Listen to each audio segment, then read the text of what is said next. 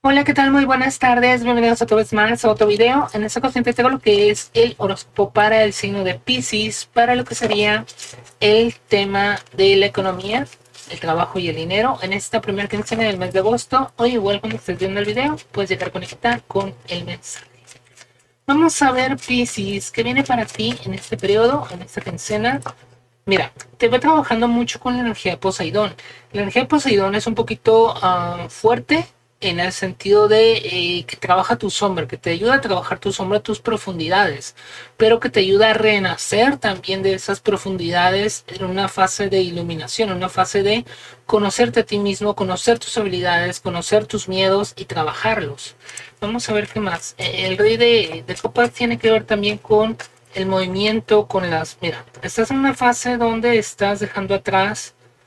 Eh, em, también una historia, estás dejando atrás un camino, estás iniciando algo nuevo.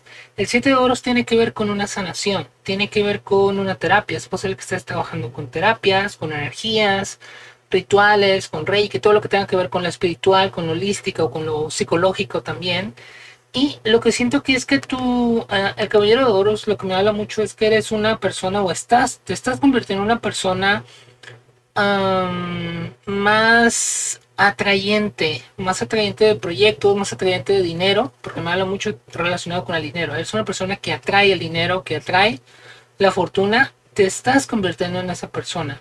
Y sobre todo, el 9 de bastos tiene que ver con ah, situaciones donde estás conociendo también tus límites o estás conociendo también tus, tus capacidades. Y sobre todo lo que siento es que hay una energía, puede ser un dios, una diosa, un guía, eh, una persona incluso, que te está guiando. Mira, te está guiando hacia la fortuna. El 9 de bastos tiene que ver con te están llevando por el caminito o te están guiando, porque si te fijas aquí, ya eres una persona que atrae ese dinero, porque estos oros significan monedas, o sea, eres una persona que con tus acciones, con tus, eh, con tus terapias, también con tu trabajo interior, estás atrayendo mucho el dinero. Y, siento que te están llevando, y de hecho, mira, aquí está la rueda de la fortuna, que también hay movimiento.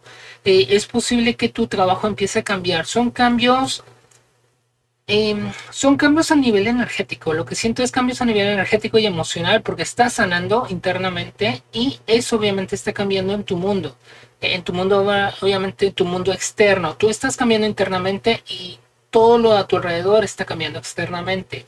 Aquí lo que veo es más que nada es como eh, quieres llegar como a una meta o quieres llegar como a un cierto lugar, por ejemplo, lo que, lo que siento es que te están guiando. Si te fijas, esta, esta chica tiene como una especie de antorcha y eh, es como una especie de faro.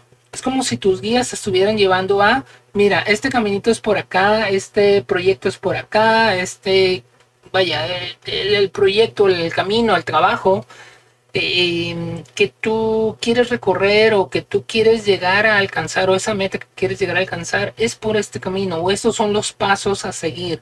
Es como si tus guías estuvieran ayudantes de muchísimo a que tú alcances esa fortuna. De hecho, la rueda también te habla de, de caminos, te habla de ah, movimiento, te habla de eh, incluso evolución. Entonces, la carta de la rueda significa también fortuna. Entonces, vas como paso a pasito. El caballero de oros tiene que ver también con un con una con un caballero, pero es el caballero más lento, eso sí, porque eh, traes, es que siento que vienes cargado de mucha energía, vienes cargado, cargada de muchas ideas, de muchos proyectos, de incluso también eh, es que siento que estás sanando muchas cosas estás conectando muy bien pasos firmes con lo que vienes trabajando, lo que vienes haciendo porque eh, el caballero de oro sí que tiene los pies de puestos en la tierra, entonces estás aprendiendo a hacer las cosas bien para alcanzar esa fortuna, para alcanzar esas metas. Estás eh, eh, en ese nuevo camino, si te fijas acá como que te están guiando desde el otro lado, te están guiando tus guías, tus ancestros, tus dioses, tus diosas, como le quieres llamar, tu universo,